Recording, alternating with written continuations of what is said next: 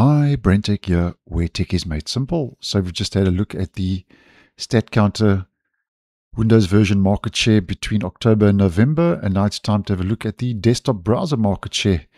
That previous video will be linked if you'd like some more information. Now, out of the top six featured for November, five have increased in market share and one has decreased.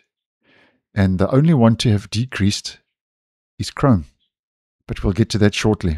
Now, starting here at the back, nice to see that Brave has increased, where it's increased from 1.03% to 1.19%. So I'm happy to see that as I am a Brave user. Opera has increased from 1.99% to 2.2%. Firefox has increased from 3.86% to 4.25%.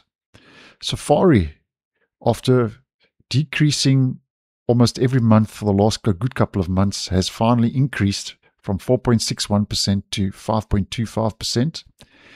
And Edge has also been decreasing over the last couple of months and has had a slight uptick from 8.65% to 9.95%. And then Google Chrome, which, as I mentioned in last month's video, its dominance had reached a new high where it was almost clocking 80% with 78.23%, but as mentioned, is the only one to have decreased down to 75.23%. And I wonder if that's not because of the MV2 deprecation of extensions like uBlock Origin, while we are seeing the other opposing browsers having a slight uptick in their market share. Because last month, as mentioned, Chrome basically hit a new high and has now dropped again but although obviously Chrome has dropped very dominant, still out in front, I don't think its market share is going to be going anywhere too soon.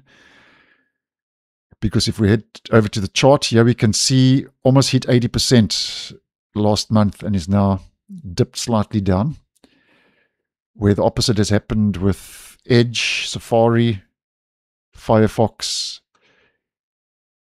and Opera and Brave, those here right at the bottom. Not too much movement overall, but are still on a slight uptick. So that's our StatCounter desktop browser market share between October and November of this year.